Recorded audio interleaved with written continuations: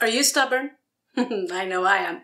Did you know that stubbornness can actually be good? You might masquerade it under the word determination, but stubbornness is good. In most cases. How can you set boundaries for yourself and other people if you're not stubborn? How can you lose weight if you're not stubborn enough to go through with it? How can you run a business if you're not stubborn enough to go after what you want?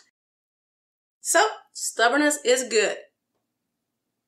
Feel free to discuss it, but I am who I am and where I am because of my stubbornness, curiosity, creativity, and a couple of other things.